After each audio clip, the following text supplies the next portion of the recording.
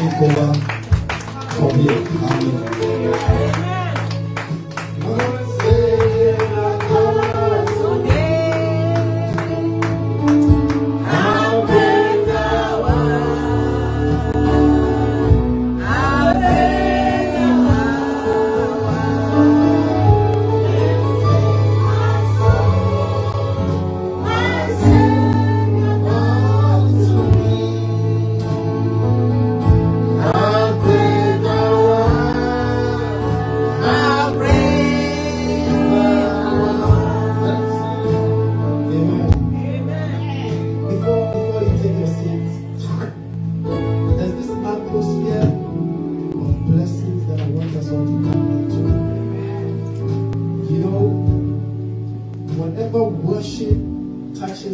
Of God, and moves God from his throne to perform the request of his children.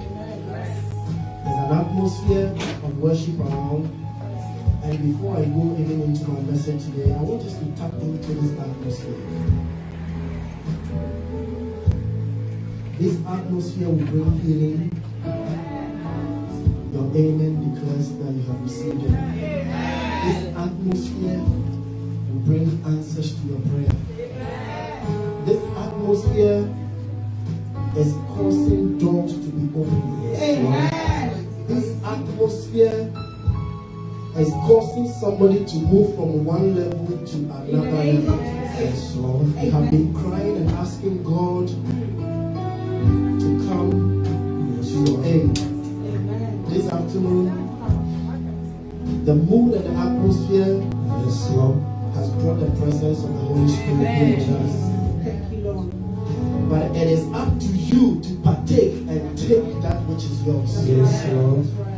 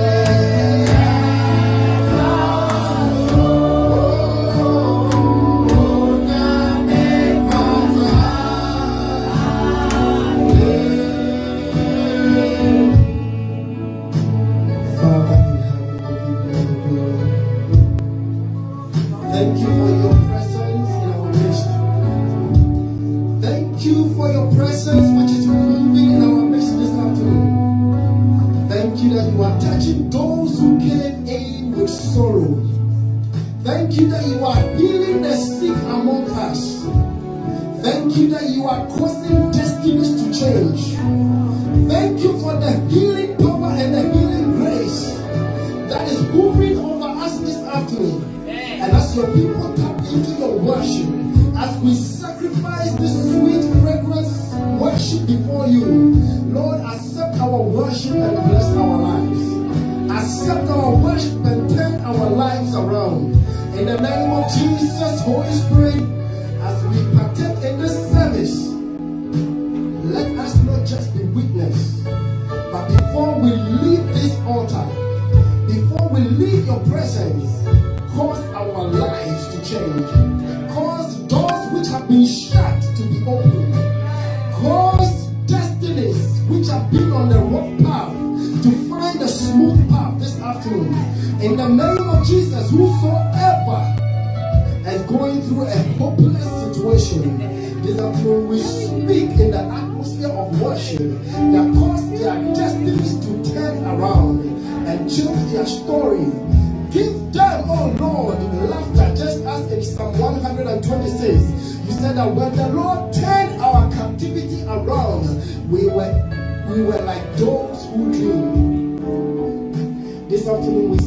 control.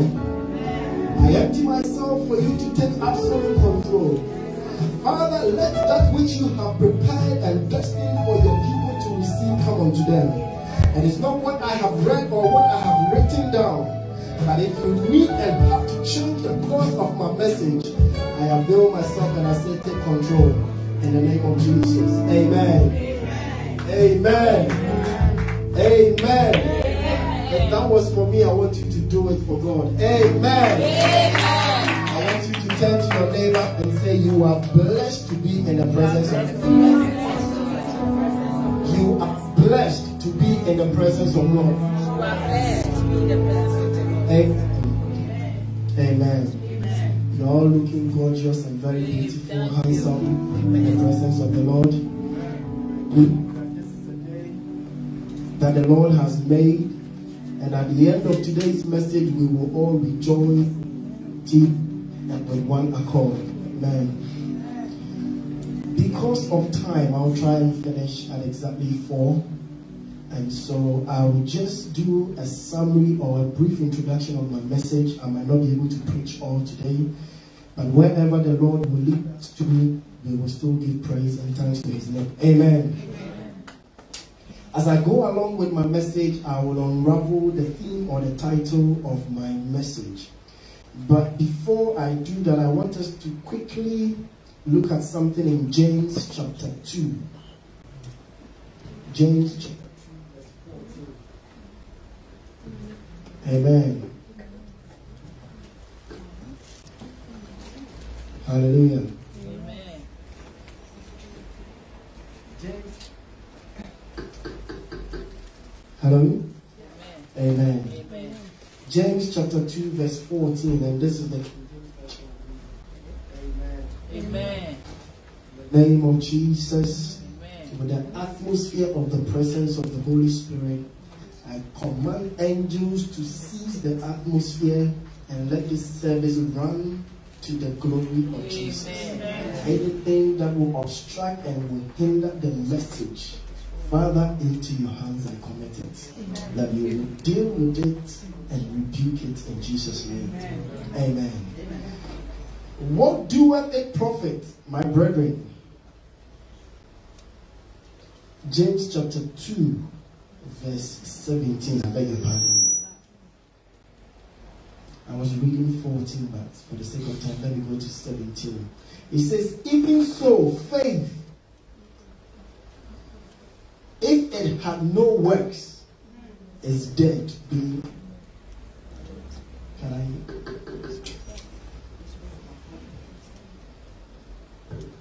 Amen. It says faith. Amen. Amen. Even so, faith, if it had no works, is dead alone. Today, I want to share with you a message that will encourage you as a child of God. I want to share with you a message that will inspire you and empower you. Because as a child of God, it gets to a point in time, thank you, that you may think that God has forsaken you. You may think that when I pray, I don't get results.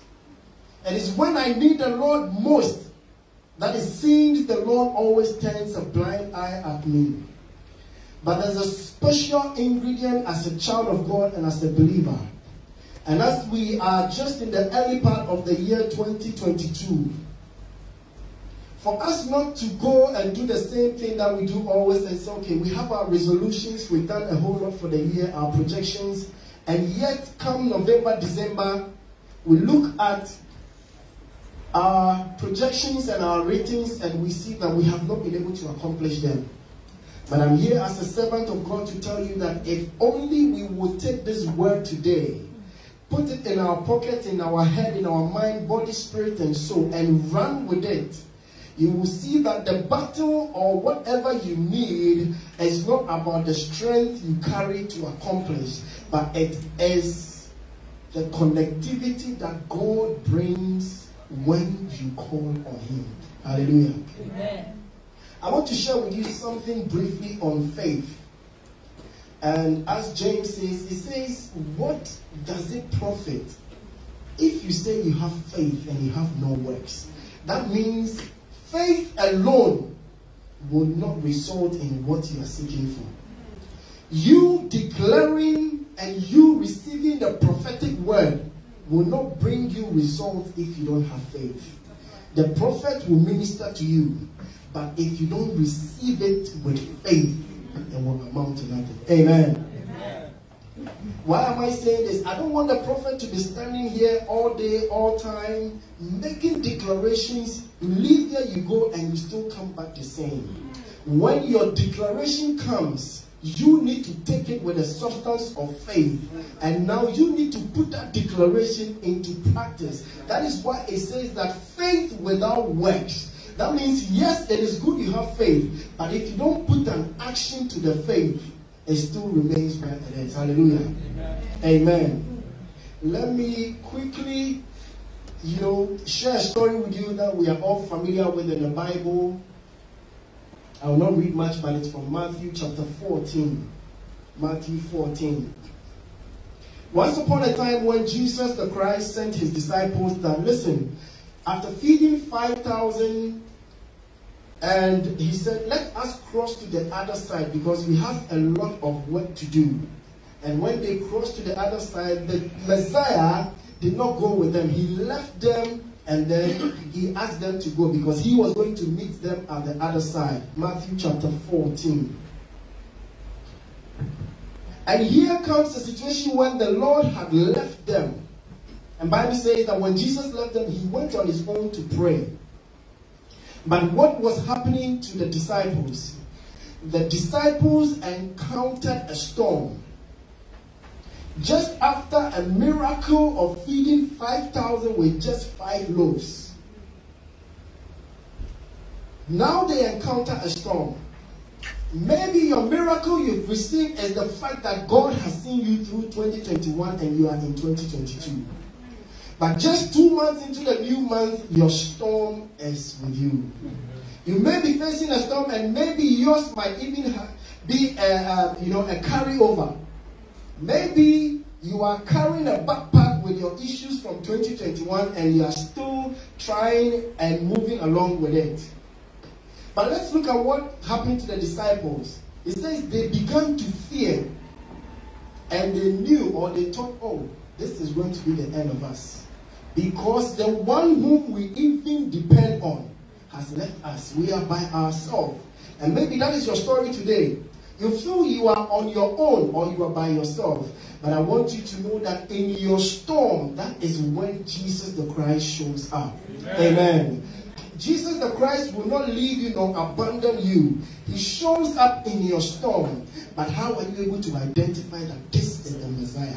This is God. If you read from verse 22 downwards, it says, And Peter answered and said, Okay, let me take it from um, 25. It says, And in the fourth watch, and when Bible talks about the fourth watch, it's talking about between 3 to 4 a.m. at dawn. It says, Around that time at deep sea of the ninth, Jesus went on to them, walking on the sea. 26. And when the disciples saw him walking on the sea, they were troubled, saying, is a spirit. And they cried out of fear. They cried out for fear.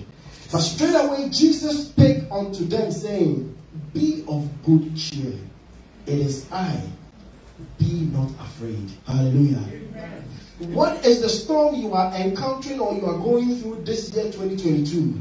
You might be saying that it is too early for me to be experiencing this. Last year was Wahala. This year too. Oh, why? Is it that I'm not praying enough? Is it that I have done something wrong that is not permitting my prayers to penetrate into the realms of heaven?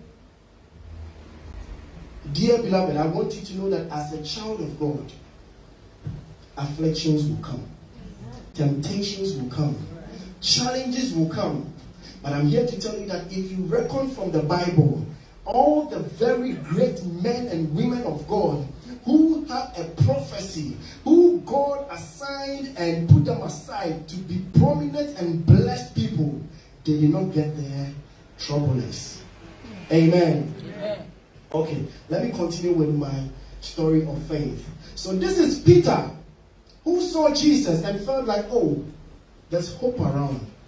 Now let me call unto Jesus and say, save us or rescue us. Because he has said that be not afraid, be not, be, do not be troubled. So Jesus and Peter saw Jesus walking on the sea and said, Master, if it is you, bid me so that I come also unto you. And Jesus the Christ answered and said to him that come. You see, we serve a God who is so loving. We serve a God who responds to us when we call on him. But our faith is the reason why sometimes we feel he's not answering us. We will ask God to do something for us. And just after we have finished praying about this very particular thing and we close the Bible, we begin to sit down and now worry.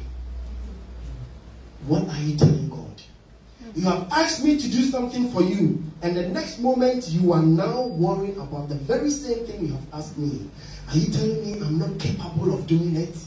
Don't I have what it takes to do it?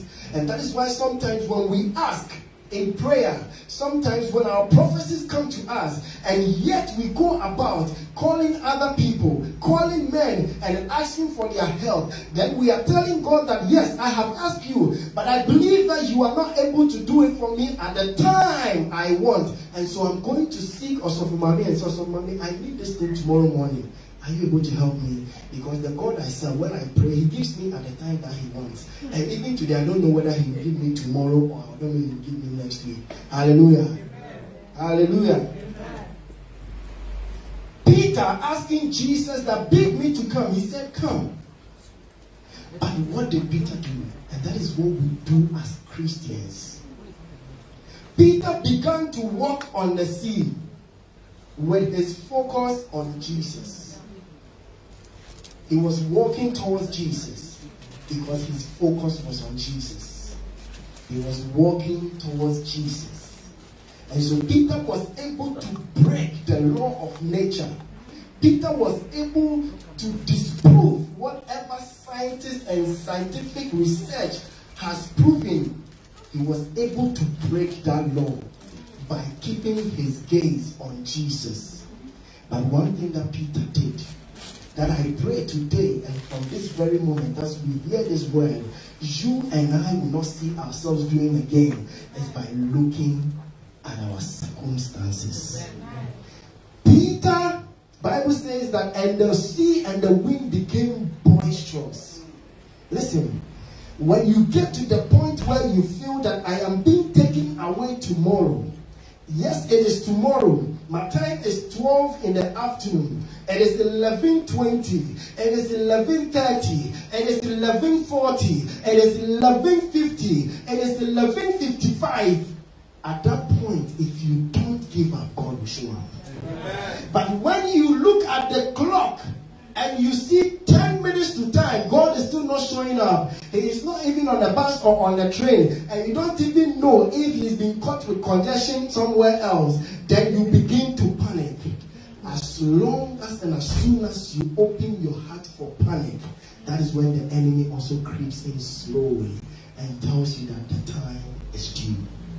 But today, God forbid that you will see yourself in such a situation and you begin to panic and fear. Amen. Amen. Bible says that as soon as Peter took his eyes off Jesus and began to look left and right, he told the boisterous sea that I realize that you are so powerful than the one I'm looking up to because I fear you that the way you have become boisterous and you are raging up at me, if I don't look and panic a little bit, you will consume me. But he forgot that there's somebody whose voice thunderous upon the sea. Bible says in Psalm, it says that the voice of the Lord thunders and is upon the waters. That is why Jesus the Christ, at certain point in time, when the disciples, the same people again, were being consumed by the sea, he stood up and said, Peace, be still. Peter forgot that there was somebody with him who could talk to the sea and the sea will listen to him. Peter forgot that the one that he was walking to, he was more powerful than the boisterous sea, but yet the fear of him sinking him to sin. Hallelujah. Amen. Amen. Is somebody catching the revelation? Yes.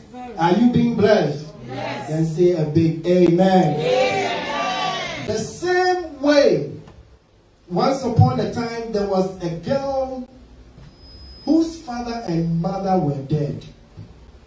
She was in a hopeless situation. But who knew that Esther would rise up to become queen.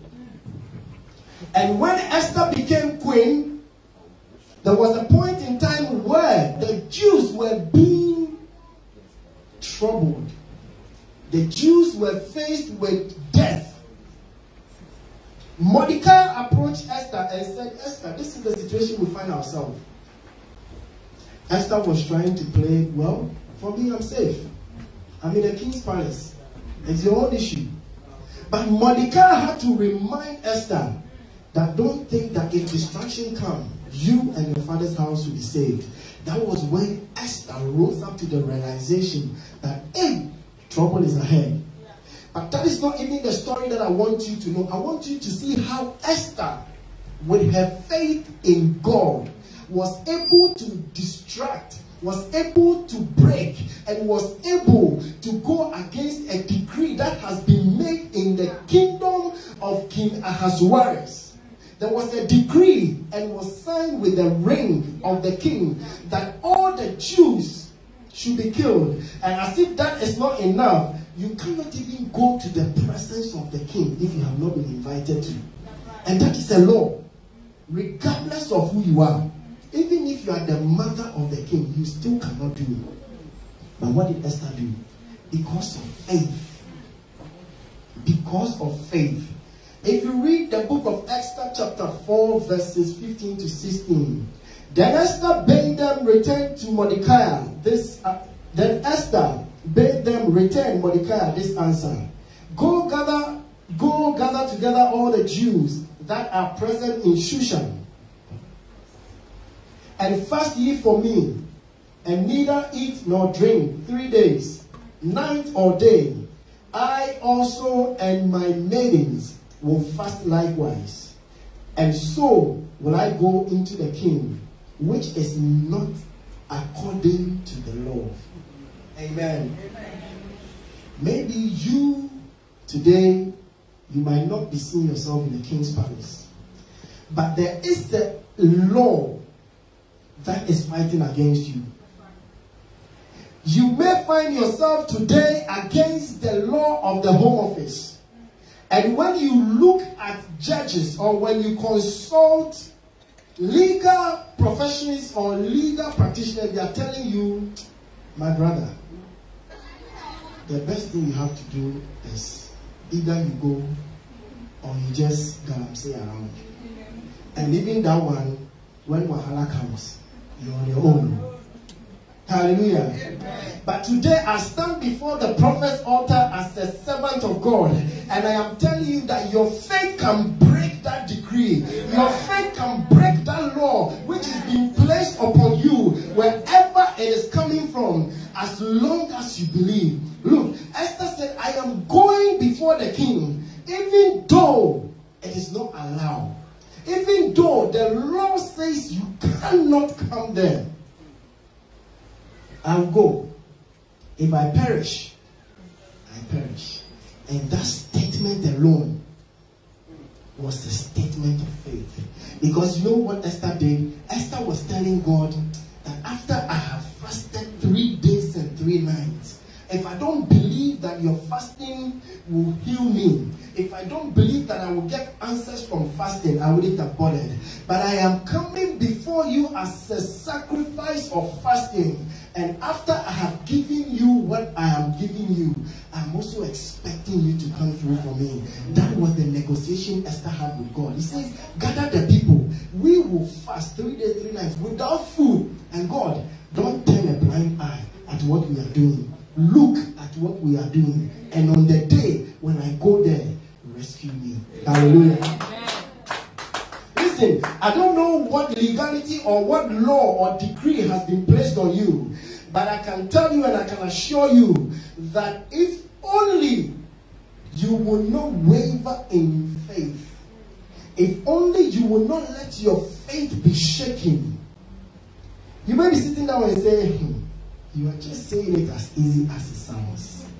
But if you were in my shoes, but I'm also telling you that if you were in the shoes of Shadrach, Meshach, and Abednego, when the king told them that there's been a decree, whether you like it or not, you have to bow when you hear the trumpet. And you saw fiery furnace burning to the extent that those who were even going to ignite the fire got consumed. And they were able to look at the face of the king and tell the king, don't worry yourself. Don't even try to blow it again. Because whether you blow it now or tomorrow, me, I won't go. And even if the God that I serve does not come through for me, I am prepared to die for him. You see, in this second instance, Esther broke a law. Shadrach, Meshach, and Abednego were also prepared to break a law because of their faith. And I believe you're getting the connection. Peter, in his case, was able to break the law, but at some point in time, reverted and he got consumed. But in this case, these three young men said that whether you blow it or not, whether God comes to my rescue or not, I am still prepared to die for him. What sort of faith did these people have? That Christians of today and believers of today, are we able to emulate or are we able to practice that kind of faith? Beloved, I want you to know that faith, in its numerous explanations and definitions, comes with two things. Your faith needs work. You need to exercise your faith because I cannot see your faith and you cannot see my faith. But the demonstration and the exercising of my faith will tell you, just as Esther, just as Shadrach, Meshach, and Abednego, and just as Daniel also said that, listen, you have made another decree. So now this is the third decree that faith is still breaking. He says, Yes, you have made a decree that nobody should pray. But as for me, I will open my windows. And not just opening my windows, I will go on my knees and I will go towards my window and I will make a decree and ask of God. And he did it. What happened? Daniel was arrested. Daniel was put in the lion's den. But one thing that the king did, if you read the book of Daniel, it says that when he was put in the lion's den, the king says that Daniel, I pray and I pray that your God, who you serve and worship, will be able to rescue you. Hallelujah. Amen. You see, the same person who put Daniel into the lion's den unconsciously made a decree against the law that he has made. That I pray that your God will save you. Amen. He thought he was just mocking Daniel, but then he did not know that that word he has spoken coupled with the faith of Daniel, was established in the realms of the spirit. And the angels held on, held on onto the word that the king said and said, If you, you are saying that, let the God that I said rescue me. We have taken it. And with the faith that my servant has, I will rescue him. And you know what happened? The king could not even sleep. Bible says that his sleep was taken away from him. Amen to the extent that he woke up early at dawn going to check if Daniel was still there. And when he called Daniel, Daniel said, Oh, live long, king, for my God, for your God, for your God, for your God. Somebody, may you tap into this atmosphere of blessing that the very people who are chastising you, the very people who are wishing for your downfall, the very people who are wishing that you will amount to nothing, the very people who are gathered this day, yesterday, and even tomorrow, and are planning evil against you, let them be the same people who will come and bow to you. Let them be the same people who will see you and testify of God's goodness. Let them be the same people you will meet and you will tell them that, oh, live long not because I want you to live long, but live long so that you'll be able to serve me for long. Hallelujah. Amen. What am I trying to tell you this afternoon? All I'm trying to tell you that nothing is impossible when you have faith. It is not as easy though. You might think it's easy. But you see, if you should get to the extent where you can say, I have made up my mind, whether good or bad. If I go and I perish, I perish. If I trust in the Lord and I do not get answers to my prayer, I did my. If I put all my hopes in God and I still feel that He is not coming to my rescue, I will still say, I depend on you. You see, God is not a wicked God. Elijah, at some point in time, demonstrated faith by openly and publicly declaring that it will not rain. And it did not rain. Imagine when he said that,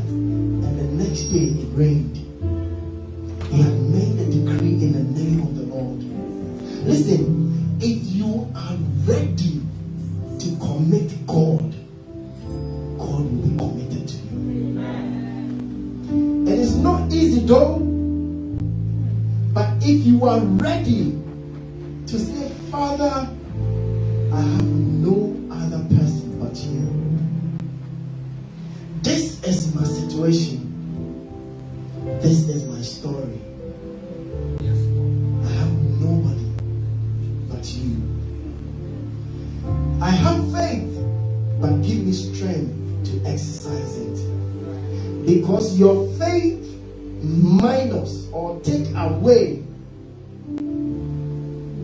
the work will not amount to anything. Do not let the work of the prophet become so difficult and hard that when he has had the revelation and spoken to you about it, now you begin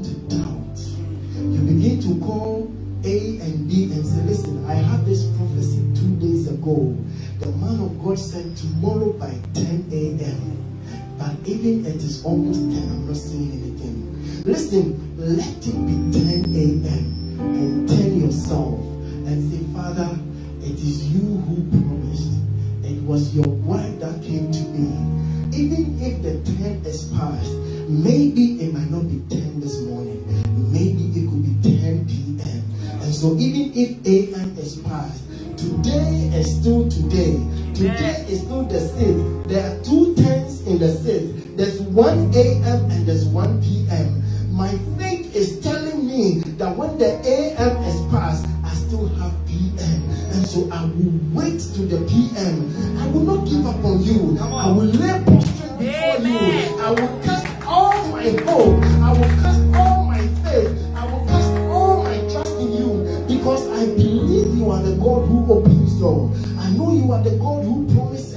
never fail. You are the one who declares and it comes to pass. And as I keep my faith in you, I know you will not put me to shame. That is why James 2.17 says that faith without works will amount to nothing. I don't know what you have come into the presence of God this afternoon I don't know what you are trusting and believing God for. But I want you and I to exercise this message today. That which we have been praying, we have been asking, we have been seeking for long, and it seems like we are not getting answers. I want you to today tell God the Father,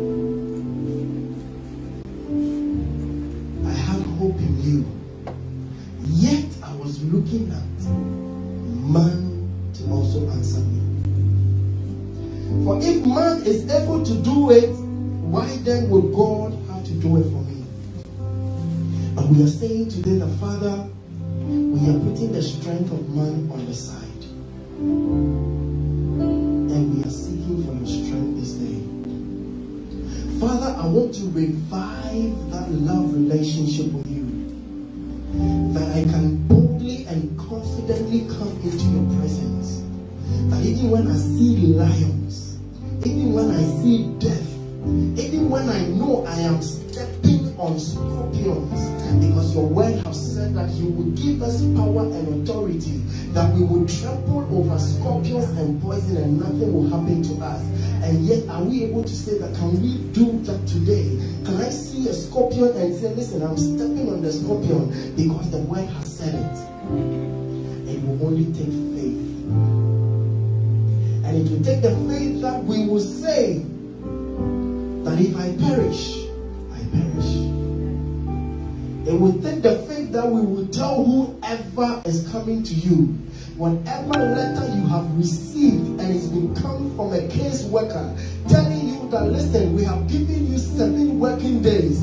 You also take that letter and say to the paper, Yes, you seven days, but my faith and the God I serve is telling me to also say to you this paper. I don't know who wrote it, and I don't know if you can hear me, but I am also speaking back to you that I am not going to be moved. According to Psalm 121, it says, My going out shall be preserved, and my coming in shall be preserved. The Lord will not let me be smitten by the moon nor by the sun because he is a jealous God who watches over me. I have a love relationship with God, and the love affair I have with God, God is not going to let that one he calls his lover to be taken somewhere and I also be taken somewhere. Bible even says that can two walk unless they both agree. And what God has put together, let no man put asunder. I will not let you put me away from God, but I will cling on to God. I will hold on to God with my faith because I know that my love with God cannot be separated. I know my relationship with God will not be broken because you who is writing to me, because you who is trying to terminate my job, you who is trying to destroy my marriage, you are just but mere mortal. And my God shall strike you. My God will rebuke you. Because when I call into the name of the Lord, He says the righteous will call unto me and He will not forsake them. God is here today. The atmosphere is charged, but only if you will have the faith Amen. in God. Amen. We are not going to be like Peter. And that tells you that even in the exercising of your faith, when you are still marking time in faith, the stones will still be by your side. That is when you see the time is clicking and clocking away. But if only today you keep your focus on Jesus. Amen. That no matter what messages and letters and news you hear, let the news be there. Let me just say this briefly. When COVID came, I remember that I had friends who would call me, Man of God, I want you to stand with me in prayer. And I said, What is going on? And they said, Listen, I just listened to the news. And I said, Listen, you are just worrying yourself. And it's what you are feeding your ears that is bringing fear to you. I told them, Me, I don't watch the news. And even if I watch news, I watch sports news. Because sports will tell me that when I exercise, I'll become strong. So instead of listening to news and counting dead, what has dead bodies got to do with me? I don't carry dead bodies. So why do I waste my time? I'm not saying the news is bad, but I won't tune into the news wanting to know updates on how many people are dying. I would rather watch something that will tell me to exercise and be healthy. And so I told them, listen, if you feed your ears and look at the storm, if you look at your surrounding and look at your circumstance, that is when if you're walking somewhere and somebody even gets close to you, you need to move away. Listen, walk in the light of God. Walk in the faith of God. Amen. Yes, the situation is there. Don't be adamant. The situation is there. But as you leave house, as you leave your house, declare that no weapon formed against me shall prosper. I walk in the light of God. Every dark cloud or every dark veil that is beside or around me, in the name of Jesus, I cast the light of God into it, and I am a child of God. And Bible says that as a child of God, I am more than a conqueror. You see, make declarations and pronouncements and take your mind off the negative. Amen. And that is exercising your faith. Amen. And when you exercise your faith, you are telling God, I have no other but you. Amen. I have no Ah,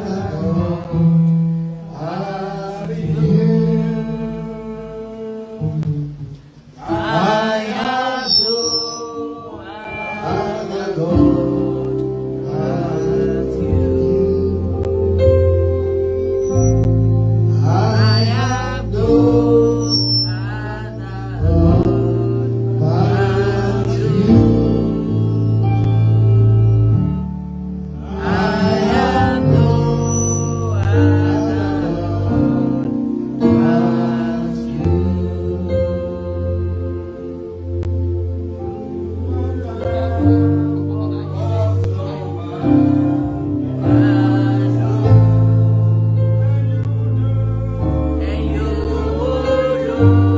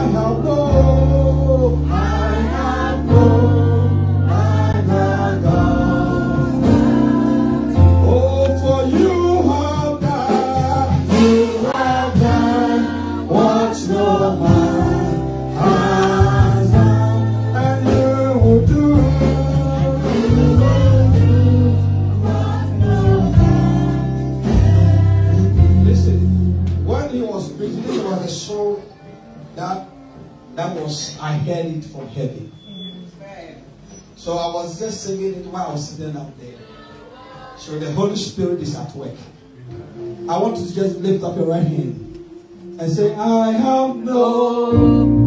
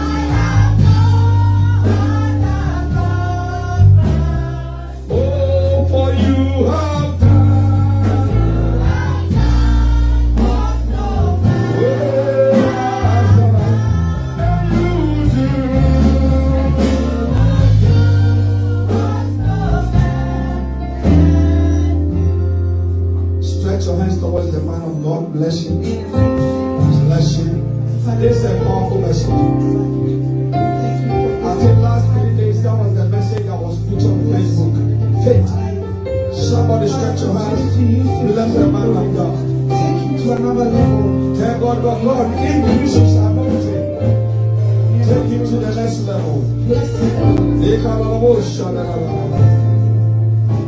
Lift up your voice and pray for him. Pray for him. Hallelujah. Somebody shout that he gave me. Listen, this house is a house of prayer, house of teachings, house of prophetic.